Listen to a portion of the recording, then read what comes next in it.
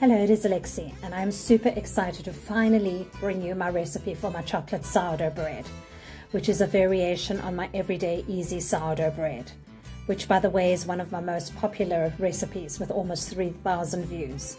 I absolutely love this chocolate bread and really do not make it enough. It is so delicious with Nutella or runny nut butter and banana. I will also be uploading today my honey, walnut and oat sourdough, equally delicious. So look out for that. Okay, let's get right into it. I will link the exact ingredients and measurements in the description box below. Of course, we start with a beautiful bubbly starter, which I fed last night. And if you are wondering, maybe you are new to this, how do you know is your starter good to use? This is the test. Drop a spoonful in some water and if it floats on the top, then you're good to go.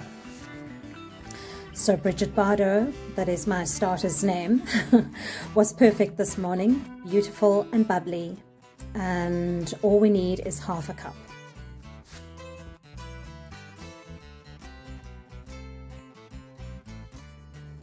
As this is a chocolate sourdough, we will need a little bit of sugar and also make sure that you use a good quality cocoa.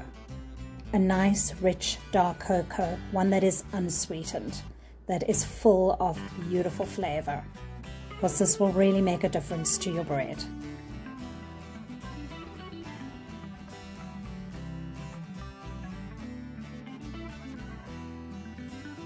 If you're going to spend all this time making sourdough, use a good flour, and Eureka is one of the better flours on the market here in South Africa.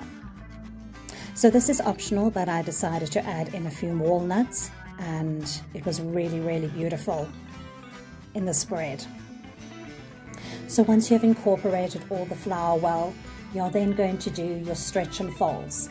And I have not videoed that, but I am going to refer you to my easy everyday sourdough recipe where you can see how this is done and how the gluten develops, how the dough changes. After the stretch and folds, you will leave it for a long proof. Mine took about eight hours. And this is how it looked. All puffy and jiggly and beautiful and ready to be shaped.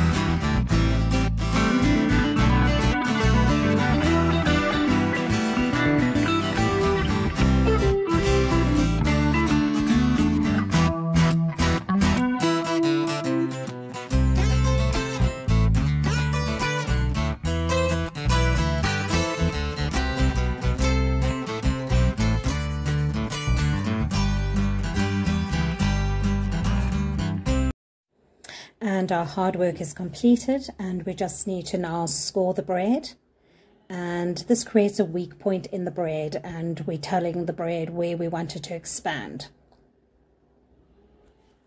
I baked it for 25 minutes covered and then a further 10 minutes uncovered and the smell when it came out the oven was so so good. It was so hard not to cut it straight away.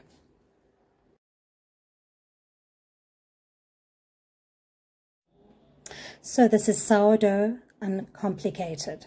It really does not need to be complicated. And I hope that you will give one of my recipes a try. Don't forget the other recipe that will be uploaded today for the honey, walnut, and oat, which is absolutely beautiful. A really, really lovely bread as well. And if you are a lover of breads, check out my Italian breads, especially my focaccia, which is my most viewed recipe with over 5,000 views. And it is a beautiful recipe, and I know some of you have made it and absolutely loved it. So I hope you're enjoying all the breads that I have been uploading.